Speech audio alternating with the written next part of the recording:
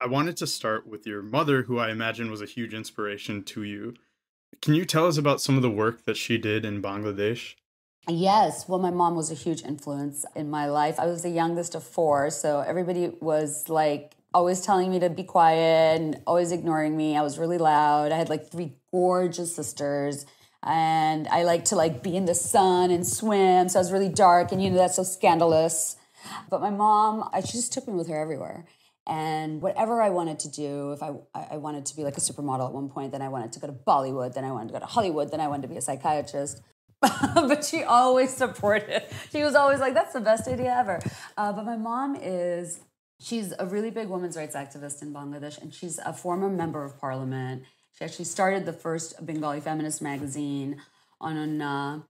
Oh, and then she's like a huge businesswoman. She's like the CEO of everything my father owns because my dad wanted to, you know, be full time and into politics. So she's just a really, really badass woman, and I write about her in my in my forthcoming book uh, actually in the first chapter as, as, the first feminist that I ever knew. So, so when I was in high school, middle school, she would drag me to these women's rights symposiums, you know, when I was like a kid. And I wanted to obviously hang out with my friends after school and talk about boys.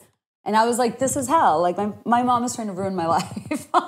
and then when I was 16, she started noticing that I was like that I had a talent and an interest in writing, you know, she, she got me this internship at this newspaper in Bangladesh, which had a weekend magazine. Mm. Uh, that started publishing my work. But I had to go like two or three times a week after school. So again, I'm like, my life is being ruined by this woman. But she, you know, because of her, I started getting published so young before I even graduated.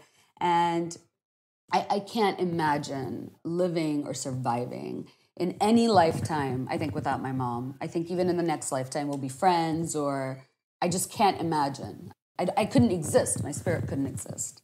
She's just one of my favorite people. She's awesome. Anybody who meets her thinks she's really cool. And she will give it to you straight. No BS. Or my mom. Oh my God.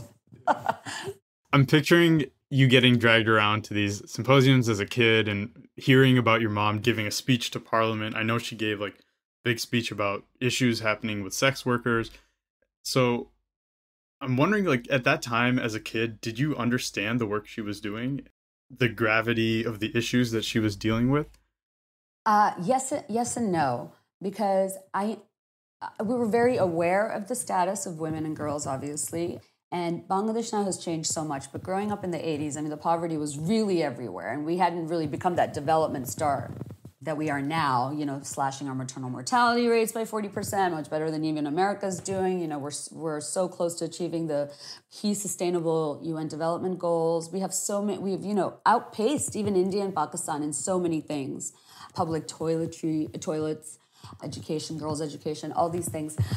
So I was aware, but I was also in a really privileged bubble like really privileged. You know, uh, my grandfather was one of the founding fathers of of Bangladesh, and my dad was in politics, and my mom got into politics, and so it was a privileged, very public bubble. So I didn't, but then I very quickly did, especially when she that issue of the sex workers that she took to parliament you know, it was really a large issue of violence against women where the police were raiding, raping, beating, mutilating these prostitutes, brought in, trafficked into the city because they're running, they're operating out of the slums. But in Bangladesh, prostitution is legal if you have a permit. But obviously, most of these um, brothels don't.